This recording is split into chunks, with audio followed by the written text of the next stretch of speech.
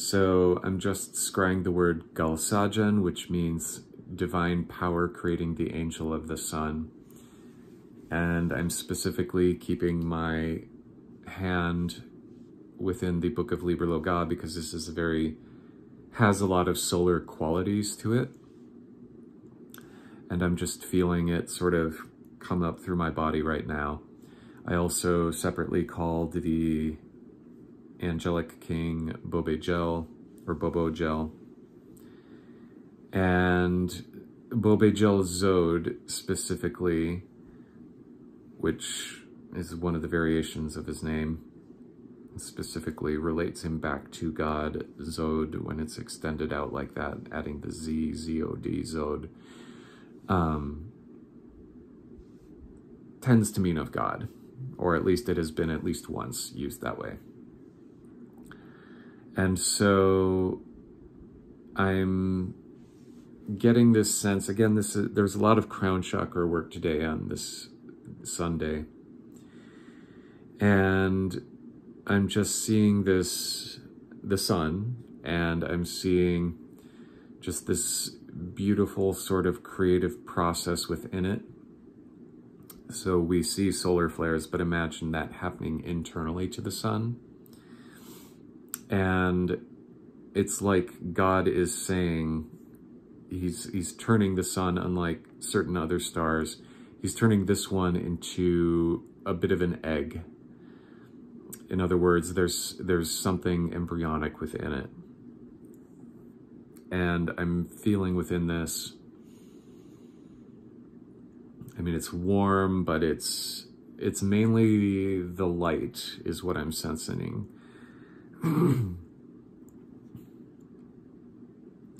and so I'm sensing this sort of come forward and much as you can imagine the heart extruding out or extending out, shining forth.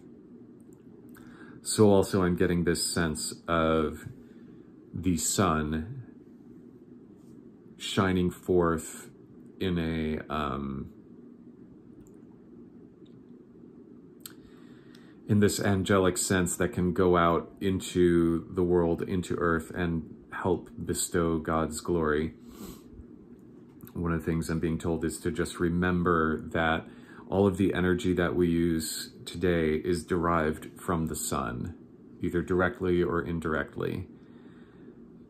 Every single thing that we eat grows because of this energy of the sun.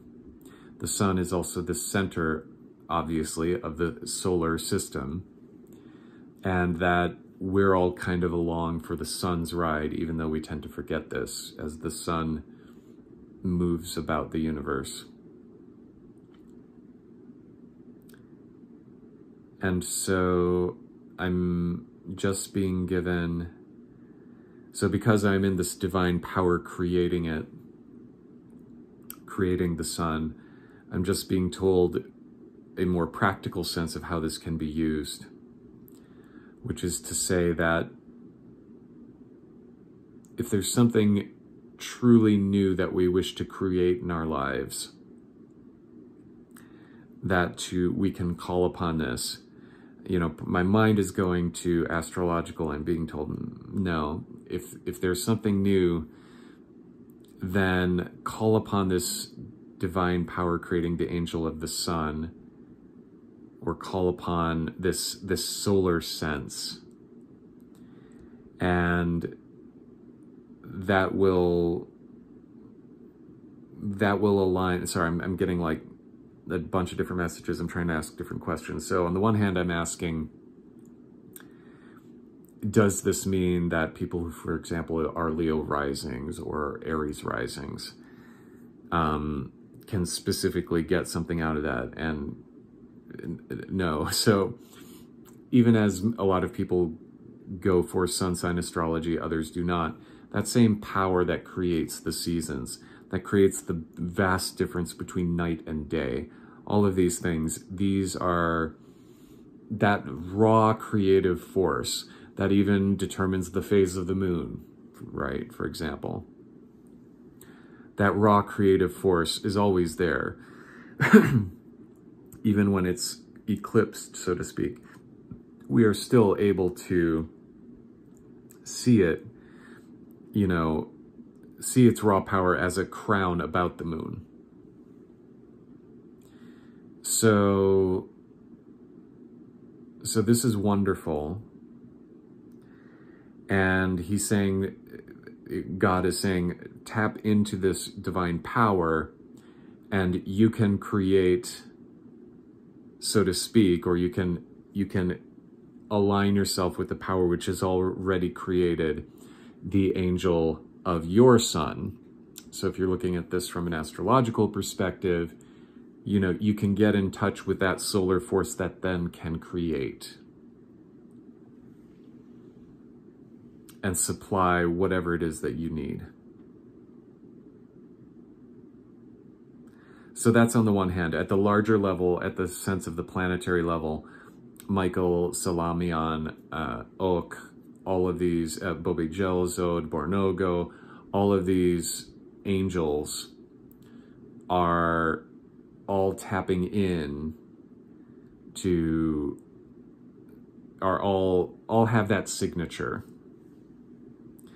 and it's just different it's almost as if you could take on a filter to the sunlight and oh here's the red spectrum here's the blue here's the green here's the and so on and so forth.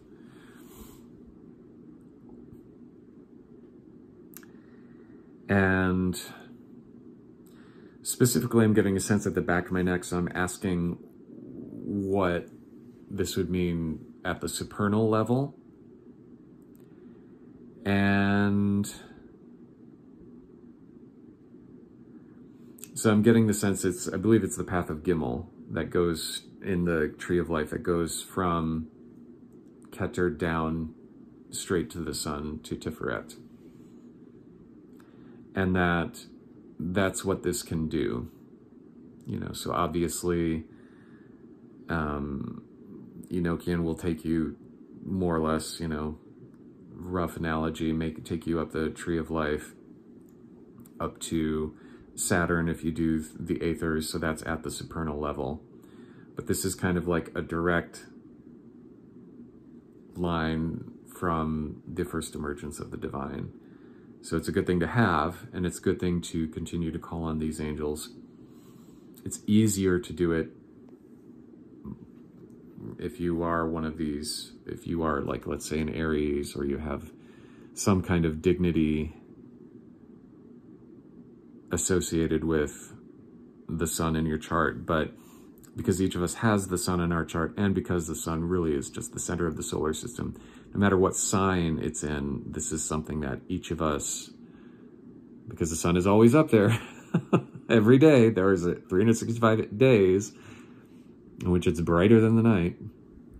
Uh, each of those, um, each of us has something to be gained by doing this and because it's directly from that um, Keter, World of Adam, Kadmon thing, that it's also important for us to realize that this is this is very important. There's a reason why there is a specific Enochian word for this, and the reason there's a reason why I have been drawn to this as I work with the other uh, solar angels today. So that sounds the vision.